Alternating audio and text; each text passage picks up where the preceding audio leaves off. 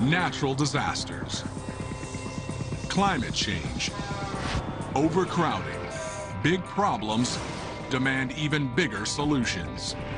It's a new era for engineering. We can build our way out of anything. In Chicago, there's no room to grow, but an underground city could house thousands. This is mega engineering.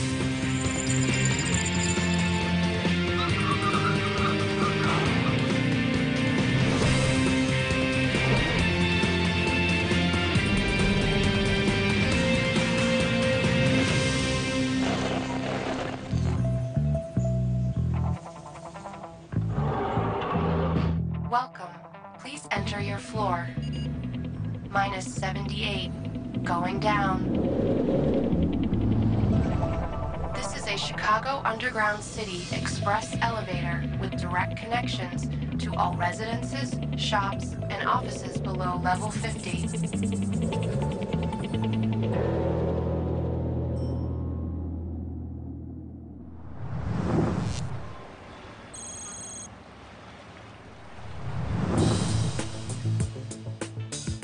Chicago, Illinois. The nation's third most populous city. An iconic skyline. And an urban grid teeming with the daily rhythms of city life. But Chicago is a victim of its own success. 2.8 million people call it home, which means this great metropolis is under a daily assault. Almost 7 million commuters move in and out of the city every weekday. Even the suburbs, once an antidote to the chaos of city life, are clogged with traffic.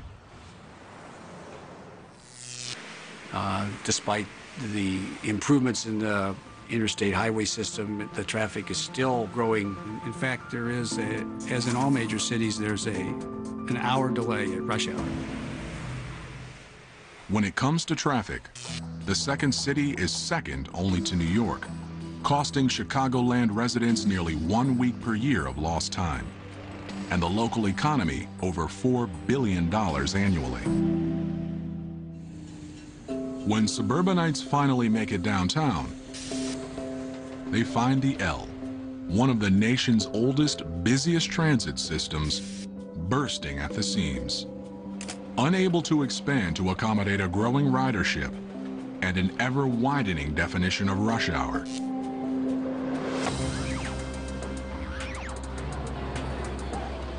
Well, the subway and L stations are only built for eight cars, so therefore to increase the capacity in the system, it would be necessary to increase the size of the stations, and that would come at a very great expense. Undeveloped land around the city is scarce, so growing out is no longer an option. And with downtown real estate at a premium,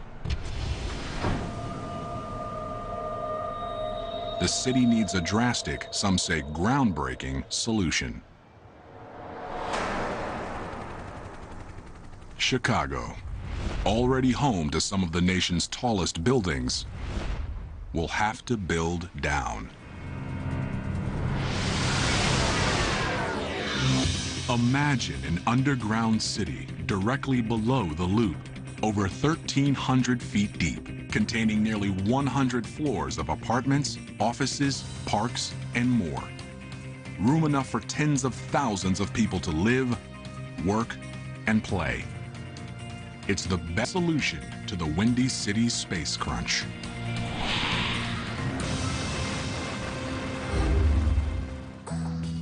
quite clearly you can get more people doing something or living or whatever you want to do in this underground space, uh, where now you have very limited space on top. It's an undertaking so big, so innovative, that it will usher in a public works project of unparalleled dimensions, challenges, and dangers. It will require excavating over 230 million cubic yards of rock. Construction crews laboring tirelessly below millions of Chicagoans. To build living spaces with new methods of ventilation and lighting.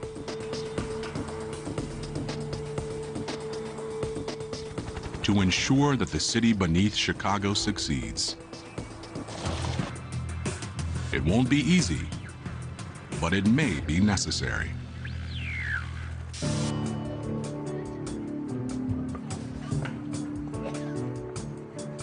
Expanding underground is a solution that's becoming more plausible with the emergence of new techniques to make living underground a reality. All this is technologically doable.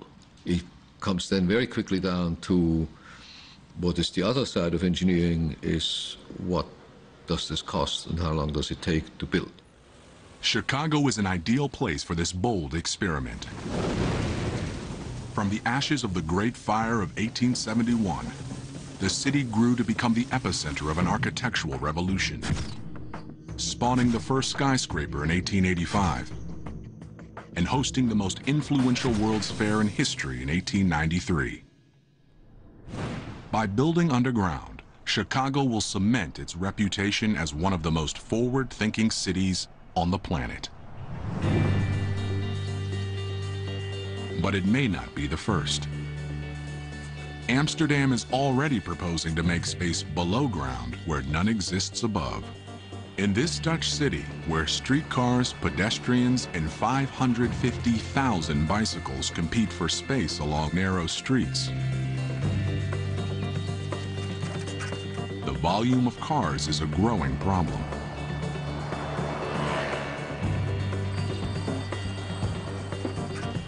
because Amsterdam is a nice historical town and there's a lot of traffic in the town.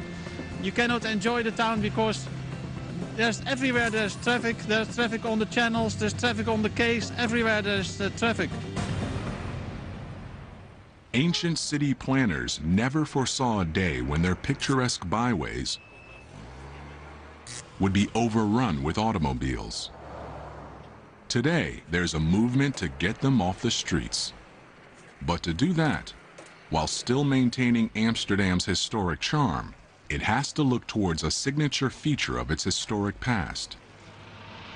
The city's canals.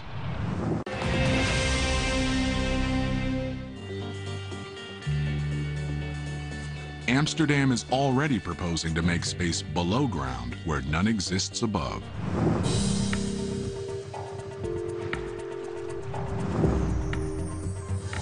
The plan? A network of underground complexes built beneath the city's 65 miles of iconic waterways.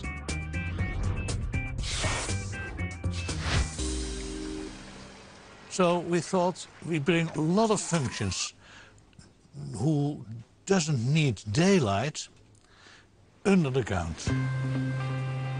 Parking garages, movie theaters, and shops, all built beneath miles of real estate that just happens to be filled with water. Working in the canal space is really is indeed the, uh, the best uh, option because of you make from one square meter which has no value, you make six square meters which has a lot of value of course.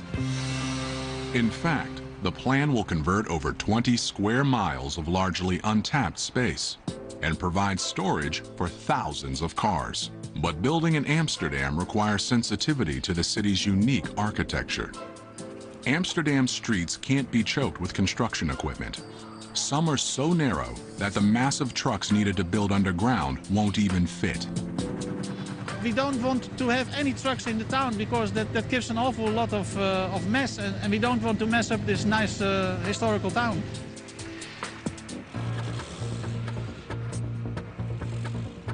Even if crews could access the area from sidewalks, they'd be dangerously close to the city's narrow canal houses, precariously perched above the waterways. Let's say in Chicago, you have to drill a hole and you can, can place a house. It's a complete other, uh, other way of building. In Amsterdam, it's not so easy to build a house because of the, the soil is what some call soft water. Amsterdam's soft water, or swampy soil, makes constructing large, heavy structures nearly impossible, which is why buildings are rarely higher than three or four stories. Most of the canal houses are supported by little more than wooden piles extending into that soft water. Heavy vibration generated by construction could spell disaster. Only the canals are far enough away from buildings and wide enough to fit construction equipment. But the canals are filled with water, so engineers have proposed a solution as unique as the city itself. Amsterdam's canal system has 16 working locks, which can be closed at any time. With the locks closed, the canals can be drained. I can imagine that people think that, that the most difficult thing is to bring out the water out of the canals. But in fact, that is technical one of the, one of the uh, easiest things. Once the canals are dry, crews will get to work. Digging 30 feet down before sealing off a new surface that's both sealing to the complex below and floor to the canal above. It's a solution that will not only minimize the risk to the thousands of buildings that abut the canals, but will also keep the city from having to shut down. Because we are working in the canal space, uh, there is less uh, inconvenience uh, for the people. Later, restoring the canals is as simple as opening the locks.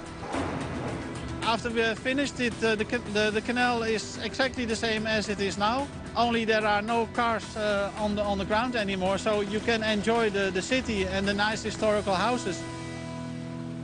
The project would remove thousands of cars from sidewalks, and if it works, it could spur other cities to take up the challenge.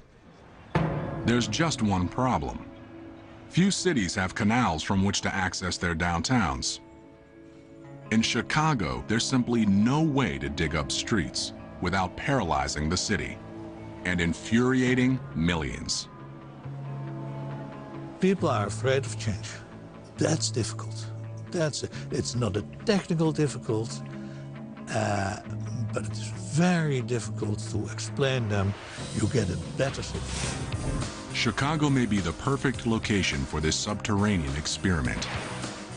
Because deep beneath the glass, steel, and asphalt of this historic city lies an even richer geological past. Well, I think it's easiest to think of Chicago geology as being a, a layer cake of widely differing geologic materials. The first layer is approximately 100 feet of glacial clay, loose, soft material that's barely suitable for large structures. But beneath that lies 400 feet of limestone, strong rock that's perfect for hollowing out large chambers. The limestone beneath Chicago is advantageous because it is stronger than concrete, typical concrete that we pour for structures. That layer is followed by over 100 feet of shale, an unstable rock that's less ideal for building. Shale is five to 10 times weaker than, than limestone. It is subject to this phenomenon that we call slaking. When exposed to water, it expands and fractures and degrades. Vertical access shafts could be drilled through the shale to the next layer of limestone, which extends for another 400 feet. It's a pattern that repeats again down to 1,300 feet before hitting a deep layer of sandstone the top of that sandstone is, is weak, very weak. So weak, in fact, that it can be mined with a fire hose. That weakness means that the underground city could go no deeper. But it's the alternating sections of limestone that make Chicago an ideal location for this feat of geological engineering. And excavating limestone is something with which Chicago is already familiar. Here at the Vulcan Mine in Naperville, Illinois, 45 minutes from downtown Chicago, an active limestone and dolomite mine has been in operation for more than two years, with enough material left for decades more. Today, crews will descend 400 feet to excavate the latest level of the mine. Their goal is to remove thousands of tons of rock in one day. They do it through a process called drill and blast.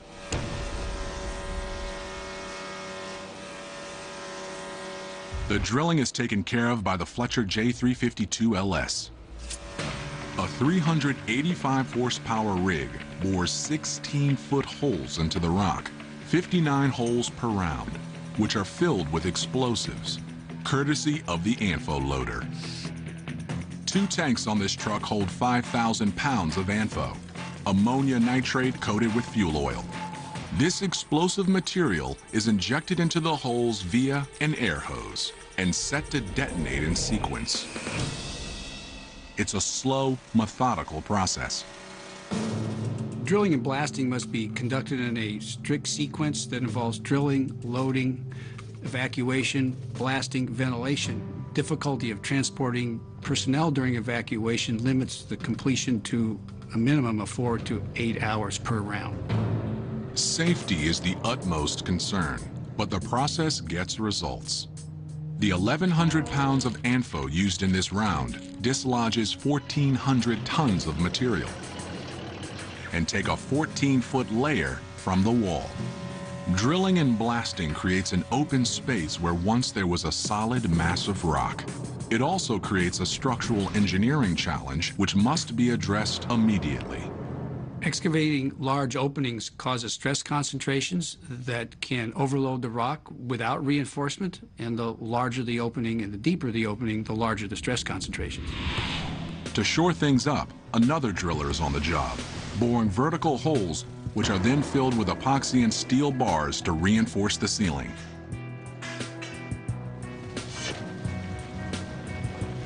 After the blast, excavated material is removed via this conveyor belt and trucked to area construction sites to be used as aggregate, a crucial ingredient in concrete that can be put to immediate use in Chicago. If it's good material, which if you do this in the limestone in Chicago, that will be probably the case, you actually can use this material to fabricate concrete, some of which will go back into this underground city.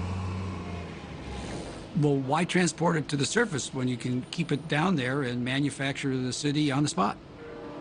The underground city could use some of the material, but not all of it, leaving enough extra excavated material to pave over 30,000 miles of roads, which could stretch around the globe one and a half times.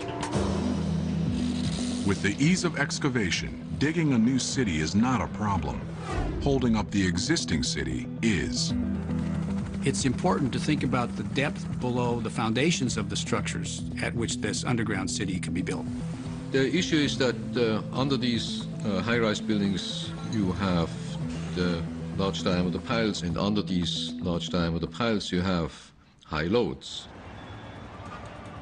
Chicago's tallest building, the Sears Tower, soars to 108 stories, 1,450 feet into the air. Holding it up, 200 piles extending nearly 100 feet into the ground, sending the building's load into the surrounding rock. And that's just one building. Beneath Chicago lies a virtual forest of foundations and piles. Dig too close to them, and the buildings they support could be in trouble. If you were to dig a hole right under the end of the pile, the lower end of the pile, quite clearly that would collapse. For safety's sake, the first level of the underground city must be positioned hundreds of feet beneath the lowest pile. But getting there without closing city streets, rerouting miles of train lines, or redirecting sewage tunnels, water pipes, and utilities would be an enormous challenge. Avoiding them altogether would be the easiest, cheapest option. To access the underground city, it would be important to construct that in an area where there weren't structures and utilities already. Unable to disturb the city life above, crews will have to begin their access to the worksite from miles away. Another possibility would be to provide this access with an incline instead of coming in vertically.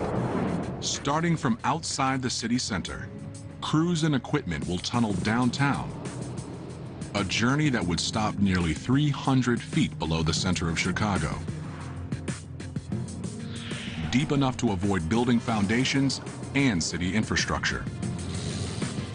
There, they will begin a drilling and blasting routine to construct the first level, a staging area for building even deeper. But as they do, they'll have to make sure that the walls of this new subterranean metropolis are strong enough to hold back the water of mighty Lake Michigan. Chicago is famous for two things. It's big and it's cold. But one place that's bigger and colder is Moscow. With 15 million people in the metropolitan area and over 3 million cars causing some of the worst traffic in the world, Moscow's explosive growth is putting it on a crash course with catastrophe. The real number one priority right now is to get rid of the transportation collapse in the city and the constant traffic jams. To cope, the Russian capital has nowhere to go but down. Moscow has a historic center. If we want to build anything and not ruin any historic architecture, we have to build underground. Russia is in the middle of an underground construction boom with two new projects that aim to save the city from its own success. The first, Tverskaya Mall, will be the biggest underground mall in all of Europe when it's finished. Four stories deep, spanning over 350,000 square feet. Russia is in the middle of an underground construction boom. The first, Tverskaya Mall, will be the biggest underground mall in all of Europe when it's finished. But building it means redirecting nearly 294,000 cars that creep through adjacent streets each day. And crews must work perilously close to traffic. The second site, Paveletsky Square, will one day be a five-story deep shopping and parking complex, integrated with the train station that sits above it. But before that plan is realized, crews must cope with the city's soft, muddy soil. The soft soil doesn't pose a problem when erecting the shorter buildings that are the city's signature. But it's not ideally suited for building underground. Just to get to a firm enough stratum for building means digging down over 90 feet to stiffer, stronger clay. Back at Paveletsky Square, the crew knows those challenges all too well. Digging one giant hole for an underground mall isn't an option. Not when Moscow's loose, muddy soil is so hard to hold back. So today, instead of digging space for the complex and then lining it with concrete walls, they're doing the opposite, building the walls first. That's the job of this excavator. Six sets of blades dig through the slop, cutting a two-foot wide chamber that is almost immediately filled with concrete, forming walls to a complex that is yet to be hollowed out. It's slow and laborious, requiring frequent starts and stops just to clean it. But once the walls are set, crews can continue digging. But the challenge doesn't end after the walls are in place. Digging in a city means rerouting utilities, sewage lines, and other infrastructure. Eventually, crews will be able to hollow out this section of Paveletsky Mall. Like on the other side of the worksite, where crews are now 100 feet deep lining the walls with steel rebar, concrete, and plastic. With so much water dripping through, the risk of cave-ins is still all too real. That's why these giant poles, five feet in diameter, some 200 feet in length, are put in to hold back the walls. Despite their massive size, they're temporary, removed once the entire box is reinforced. Because water always finds the weakest path, engineers must be vigilant, even though Paveletsky Square is half a mile from the Moscow River.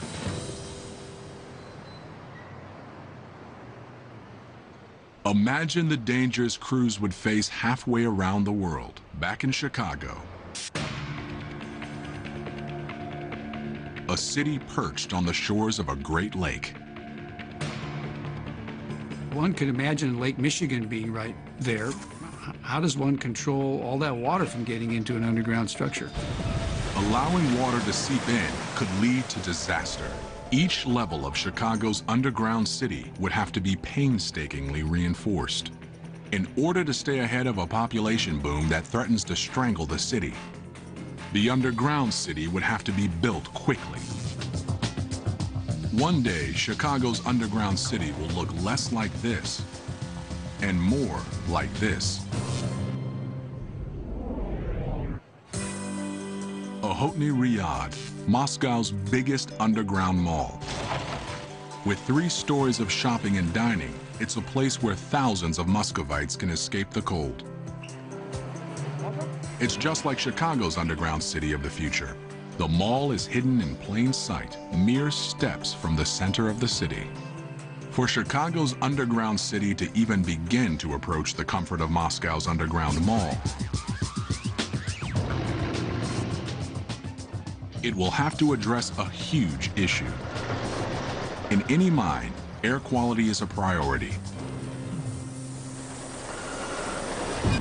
During construction, engineers can employ a ventilation method in use at the nearby Vulcan mine.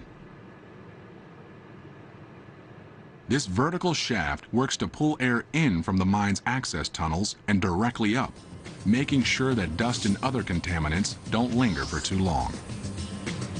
This is a system meant to provide comfort and security to dozens of miners working 10-hour shifts.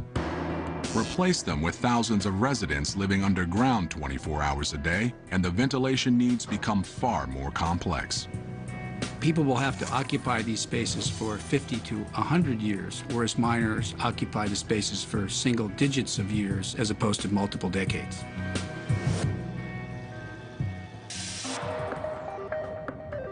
Deep beneath the ground, there will be no open windows, no breezes to keep fresh air circulating. Ventilation is a problem that's already been solved, far beyond the needs of any underground city in Boston, Massachusetts. Here, engineers behind the Big Dig the most expensive public works project in U.S. history, were faced with thousands of cars passing through almost four miles of tunnels every day, spewing tons of poisonous exhaust. Moving vehicles push air through the tunnels, but traffic jams can cause air to linger and dangerous gases to build up. So the Massachusetts Turnpike Authority installed a complex ventilation system to keep the air moving. Near tunnel openings, jet fans circulate air. But with some tunnels as deep as 120 feet, Boston had to go to more extreme measures to bring air underground. Deep beneath this building in the heart of Boston lie the lungs of the Central Artery Tunnel System. A building 125 feet tall pulls in fresh air and transfers it to the tunnels below. The intake air is sucked in uh, through those louvers, as you see behind me, and it's sucked down to a fan chamber and through a series of tunnels or conduit into the tunnel. 100 feet below ground in a massive intake room, giant fans pull fresh air down the shaft. 400 horsepower engines are capable of moving 333,000 cubic feet per minute and generating wind speeds of up to 62 miles per hour. It's a powerful system based on age-old techniques. All the components of the Big Dig basically used uh, tried and true technology. The hardware and the, and the, the mechanical um, equipment performing the ventilation is pretty much uh, in, uh, a century old now. It takes 13 buildings like this to cover Boston's tunnels. And while the means of moving air hasn't changed in years, the ability to adjust to the changing needs of an underground environment has. Basically, we have a uh, surveillance in the tunnels. We have cameras watching the traffic. Almost all of our cameras and sensors are monitored from our operations control center. Inside the Massachusetts Turnpike Authority building, at the Operations Control Center, specialists monitor 32 vent zones and control 235 fans and over 500 cameras. With just the push of a button, they're concerned with air quality and a lot more. More than just the ventilation is monitored there, the, the pumping of water, the, the traffic conditions in general. So you really get a very efficient um, management of all the life safety functions within all the tunnels under one roof. But this centralized command center has some fail-safe backups. Even if communication with one of the vent buildings is lost, each vent tower is staffed and powered independently. There are local um, controls within the vent buildings that we can still operate the fans by in a manual mode uh, with, with personnel. Chicago's underground city will apply much of the technology used in Boston, only at 10 times the depth. The underground city's walls and floors will be lined with ventilation chambers. Fans at the bottom of the city will pull fresh air in through intake shafts located at the top, where it will descend down 1,300 feet and circulate throughout the city before returning to the surface to be exhausted. Regulating the airflow would require the kind of sharp monitoring used in Boston. You're living down there, so it's not just a transient air, and I'm sure you would probably have a much stricter requirement for the cleanliness of the air that you're breathing. Regulating air quality for a 24-hour residential population, and not just automobile traffic, would require many more fans and a control system that would be the eyes and ears of an underground city. It's something that would provide security and peace of mind for the residents beneath Chicago should the unthinkable happen. With the underground city a reality, one factor of Chicago's legendary climate will be mitigated, if not eliminated altogether. Well, there are advantages to living underground. For instance, you're not subjected to the vagaries of Chicago winters. Deep beneath the city streets, residents wouldn't have to worry about snow or even staying warm.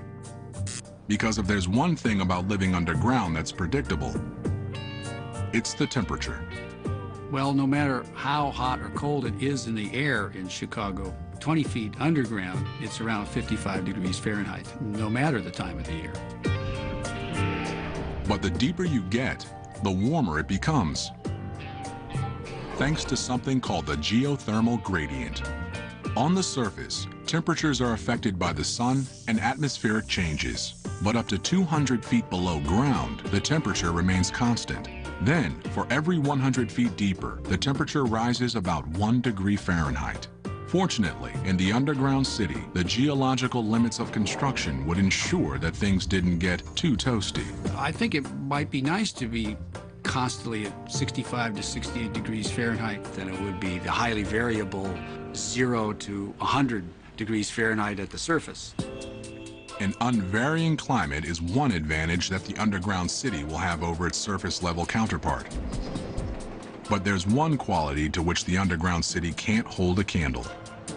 Possibly the most important issue would be the lighting itself, because without artificial illumination down there, it's completely black.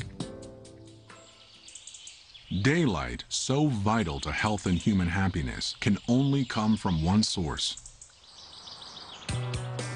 Even in Moscow, with just 70 sunny days per year, the underground mall Okhotny Ryad does what it can.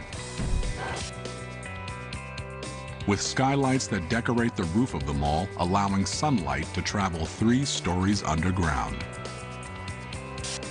It's a solution that'll work in Chicago too, up to a point. Massive skylights will illuminate the structure's uppermost levels, but deeper down there would be no way for sunlight to reach people. This simple fact would make opting for a life above ground, in spite of Chicago's cold, worth it to many. But if a solution exists, it may be found at Rensselaer's Polytechnic Institute's Lighting Research Center in Troy, New York. Here, researchers focus on light's effects on health and the circadian system, the 24-hour cycle that all humans are programmed to follow. The circadian system wants to see a regular 24-hour pattern, and that is the pattern that we evolutionarily grew up with.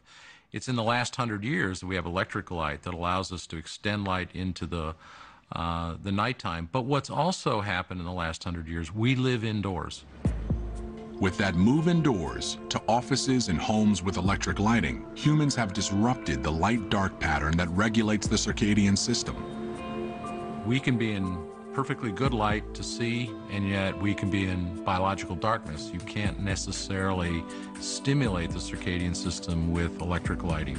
With only artificial light, the internal clocks of underground citizens would go haywire.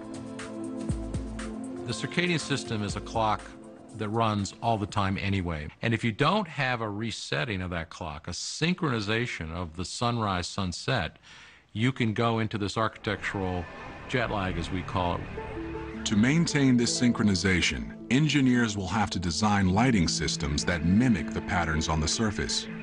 But even these artificial means don't go far enough.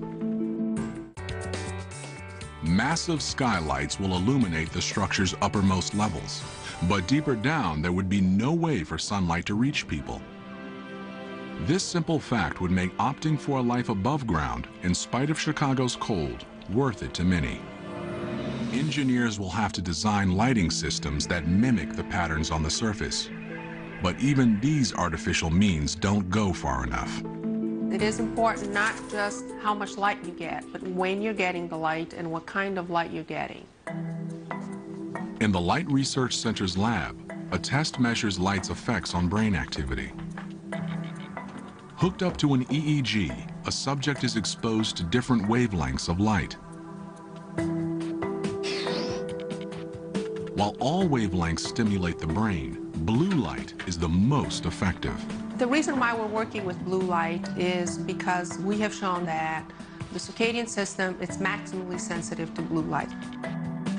That may be because the color of the sky has programmed our brains to respond to the blue wavelength of visible light. RPI has found that the need for blue light is so ingrained into human DNA that it only takes a small amount to trigger alertness. So this way you can effectively achieve the same result in reducing melatonin levels or increasing brain activities with less amount of power or with less light. So it's an energy efficient way of impacting the circadian system. That energy savings would preclude the city from having to bathe common areas in blue light or from running ultra hot lights to simulate sunlight. Instead, residents could take a more personal approach. Blue light is so effective for the circadian system. We can get very low levels of blue light and be able to impact the circadian system. Brief exposure to blue light is as effective as using a more common method for waking up. What you can do is, just like a cup of coffee, you can use light for 15 minutes, 20 minutes to perk you up and to give you some alerting stimulus. There would be lots of opportunities to manipulate that light in such a way that it can uh, uh, provide a sense of daytime and nighttime, can provide a sense of change, and can provide a sense of, of, of difference that makes life enjoyable. It's the differences in life that I think are, we find attractive. It's not only life below Chicago that would begin to improve. At street level, the city will find smaller crowds, less traffic, and a transportation system more able to cope when people are no longer commuting from outside of the city, but from underneath it. Well, the city could be beautified if much of it were placed underground. Placing the major functions underground will allow us to think more expansively of the most appropriate uses of the surface land.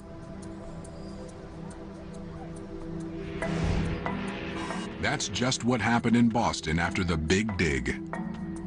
The city has been knitted together again, if you will. Uh, some of the surface land has been reclaimed for public use versus having a elevated highway on it.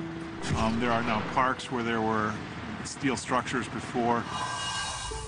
Those above ground improvements could go a long way towards generating support to expand the underground city. But continuing to hollow out the ground beneath Chicago's skyscrapers could be met with opposition. So the underground city will have to navigate uncharted territory. Well, the state of Illinois owns the lake bottom from the shore outward, and there are no buildings there. Perhaps it might be a great deal less expensive and more quickly realized to actually excavate the underground city indexed over uh, by the lakeshore. By connecting a new network of underground chambers to the existing underground city, urban planners could create a mirror image of the city beneath the lake. In terms of changing the way in which the world thinks of Chicago, it might move it out of the realm of its current beautiful vertical skyline to thinking about maybe its, uh, its, uh, its underground skyline. There's just one problem. The first part of the underground city was built without anyone living there. The challenges that once only affected crews could now have an impact on thousands of permanent underground residents. You'll never be able to see the complete picture underground as you will above ground. So the unknowns are, are basically higher and you have to deal with that during construction. Most important issue to address would be the possibility of any types of historic gas deposits that are located there.